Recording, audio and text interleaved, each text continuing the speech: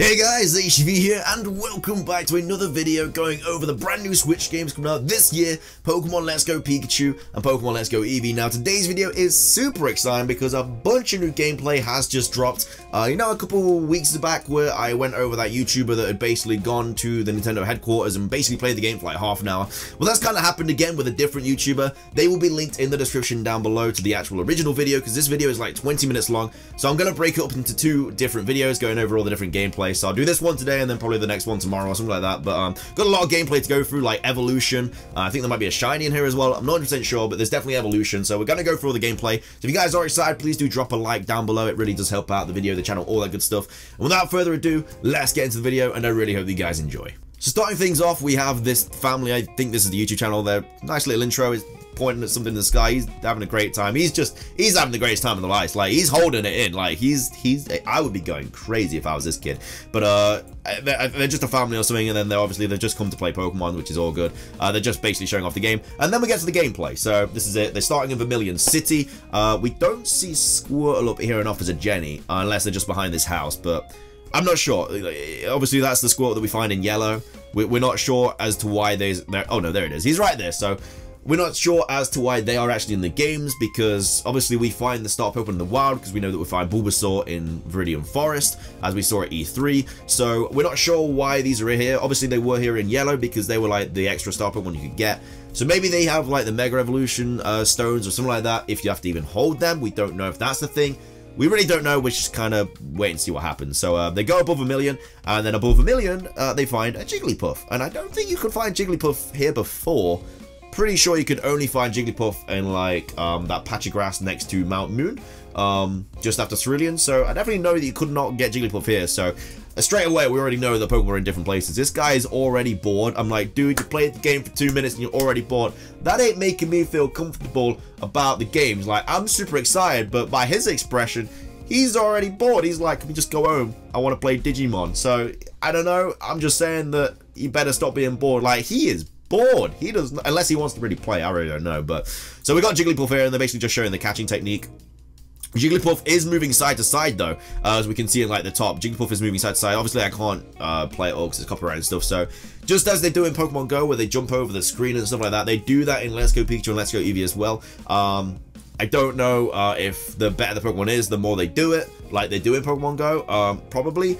But we'll have to see what happens because um, obviously we've seen the legendary Pokemon and stuff like that, but we haven't seen them move around because we battle them. Then obviously Jigglypuff's doing this like little dance, moving around all the side. Then he fled. Um, so this is obviously very, very interesting. So we have Jigglypuff here. It says something, and then Jigglypuff moves to the side, and then I'm pretty, I'm presuming that says that Jigglypuff fled because that kid's like, oh no, I lost my Jigglypuff, and then everyone's like laughing about it. So Pokemon flee in this game, just like they do in Pokemon Go. Um, and obviously the better the Pokemon they are, the more likely they are to flee. So if you find a shiny Pokemon, there's no guarantee you're to catch it. Yeah, you can throw raspberries and stuff like that at it, but it's going to be very easy to fail shiny Pokemon in this game. So maybe they've increased the odds in this game. Who knows? Um, we're still a little bit debate about that. But at the end of the day, they can flee in this game if you didn't know that. Just like they can Pokemon Go, which sucks. Um, then we got a Growlithe here.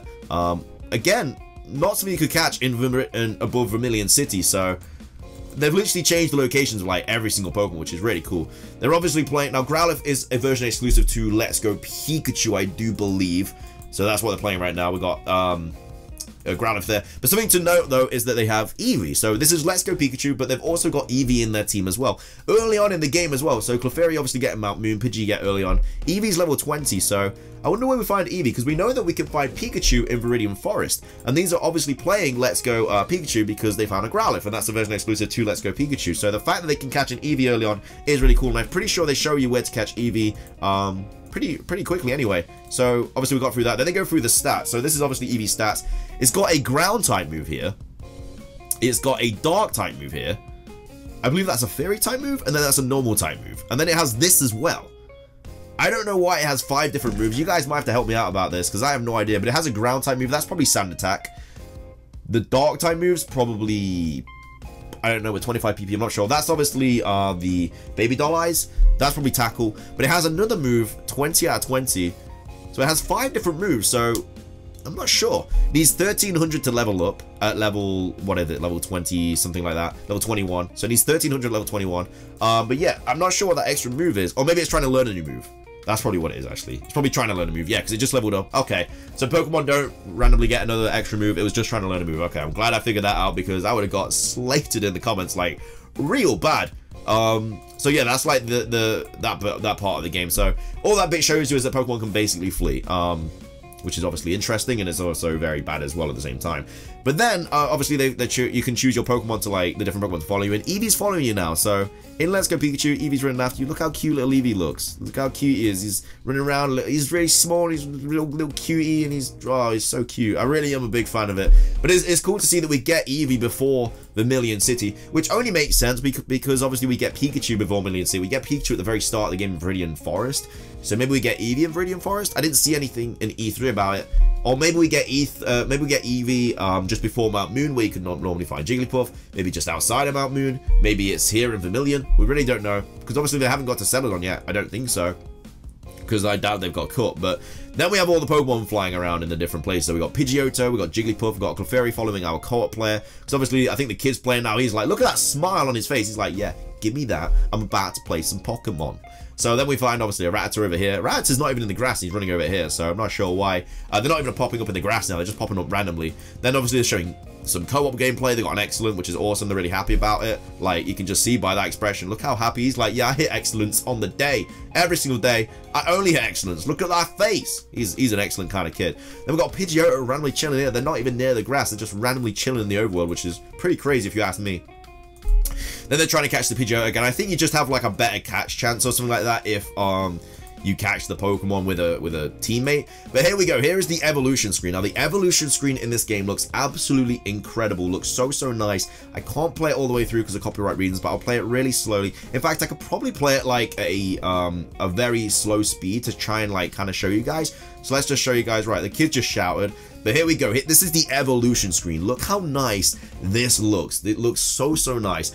It, it looks slightly like Pokemon Go, where like the ball of blue comes around and it jumps up into the air, and then it kind of changes, then it comes back down. But I love the kind of background with like the shooting stars and the clouds and everything like that. looks really, really nice. But yeah, the evolution screen I'm a big fan of. It really, really does look really, really nice. But uh, let's just keep watching it. All these different like blue things, like the evolution of, of the evolution is so, so cool.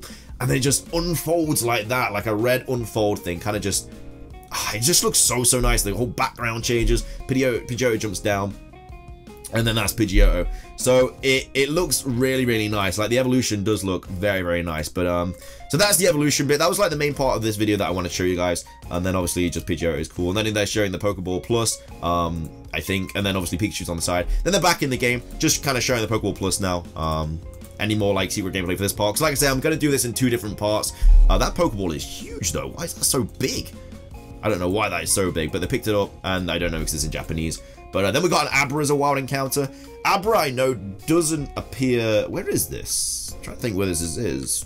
I'm trying to think where there's a gentleman. I like how the gentlemen actually have like walking sticks now. The, the NPC sprites look really cool. trying to figure out where this is because I actually have no idea. Um, I have no idea. I, I know that Abra doesn't appear here though. Abra literally only appears like on the left of Cerulean, so, well, like near Cerulean Cave. He's... he's he is not a fan of Abra. This dude is not a fan of Abra at all. Oh, what a cute kid. Uh, so obviously they're catching Abra now. Uh, they're in co-ops, obviously. I think it just gets easier to catch. And then that's kind of it for this. Like, that's all I kind of really wanted to show you. Where is this? Is this still familiar? It must still be familiar. We got a side up there as well. Literally, all these Pokemon just literally appear everywhere. It's really, really crazy. But, um, yeah, like, this is insane. I'm, I'm a big fan of this. Big fan indeed. But, um, then they obviously go back into Cerulean. They go to the, to Diglett's Tunnel, I do believe. Do they go inside Diglett's Tunnel? They don't. They find a Drowzee. So this is obviously the right of Vermilion. You know, where you obviously can find Drowzees here.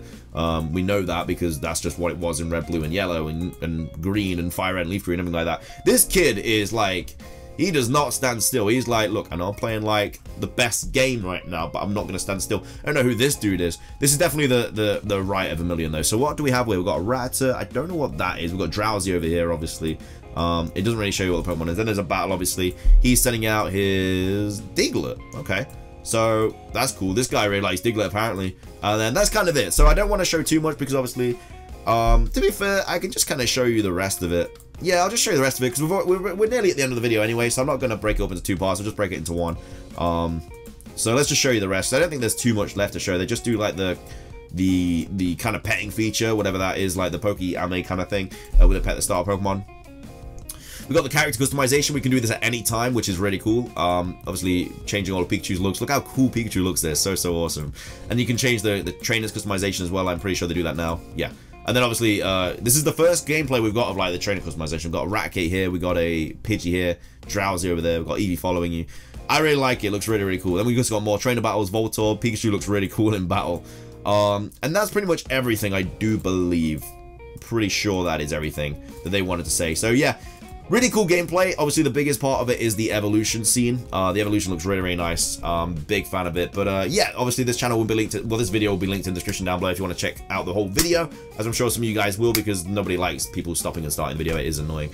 But uh, yeah, what do you guys think about the gameplay? Do you like the evolution thing? I'm a big fan of it. I think it looks really, really cool. But um, yeah, if you guys did enjoy this video, please drop a like. It really does help out. Let me know. Let me know that you guys like the Pikachu uh, an Eevee content, the Let's Go Games uh, content, because I do like bringing new gameplay to you guys and stuff whenever it does get announced. Uh, be, be, sure to subscribe as well. I do daily Pokemon content on this channel. Uh, Let's Plays, Top 5s, all that jazz. I've got my Twitter, Twitch, Instagram, channel Discord, second channel, Patreon, all can be found in the description down below. That is everything from me though, guys. Thanks so much for watching. Have an amazing rest of your day, and until next time, guys, peace.